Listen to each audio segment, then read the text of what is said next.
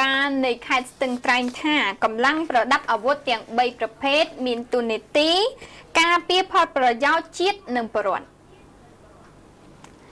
ថ្លែងក្នុងពិធីប្រារព្ធខួបលើកទី22នៃទិវាកងរាជអាវុធហត្ថកាលពីថ្ងៃទី20កក្កដាម្សិលមិញអភិបាលខេត្តស្ទឹងត្រែងបានលើកឡើងថា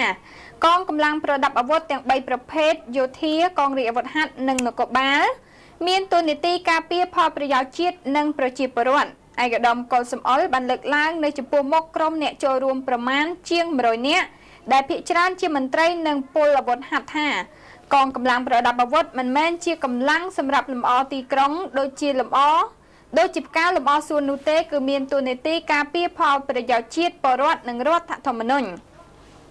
ជាមួយគ្នាក្នុងឱកាសនោះលោកឧត្តមសេនីយ៍ត្រីអៀងវណ្ឌីមេបញ្ជាការកងរាជអាវុធហត្ថខេត្តក៏បានឡើងអានសារជូនពររបស់នាយឧត្តមសេនីយ៍សៅសុខា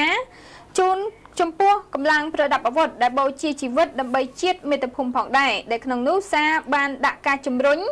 ដល់កងកម្លាំងប្រដាប់អាវុធចំនួន5ចំណុចសំខាន់សំខាន់រួមមាន ទី1ត្រូវបន្តលើកកម្ពស់ស្មារតីស្នេហាជាតិនិងស្មោះត្រង់ចំពោះជាតិសាសនាព្រះមហាក្សត្រជាពិសេសរាជរដ្ឋាភិបាលនៃព្រះរាជាណាចក្រកម្ពុជា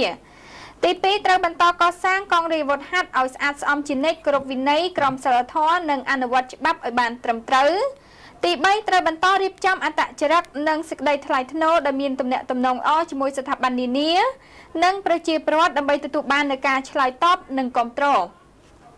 ទី4ត្រូវបន្តលើកកម្ពស់ចំណេះដឹងនិងសមត្ថភាពជំនាញវិជ្ជាជីវៈគ្រប់ផ្នែកតាមរយៈការវឹកវើរៀនសូត្រនិងទី5ត្រូវបន្តកសាងមនសិការឆន្ទៈអង្គអាចក្លាហានទទួលខុសត្រូវចំពោះភារកិច្ចចេះបែងចែកច្បាស់លាស់នៅអំពើល្អនិងអាក្រក់ឲ្យបានច្បាស់លាស់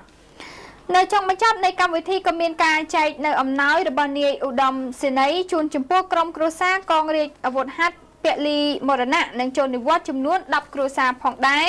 ដែលក្នុងមួយគ្រួសារមួយគ្រួសារទទួលបានអង្ករ20គីឡូក្រាម ទឹកត្រីមួយយួរមុងមួយមុងភួយកន្ទេលនិងថវិកាមួយចំនួនទៀត។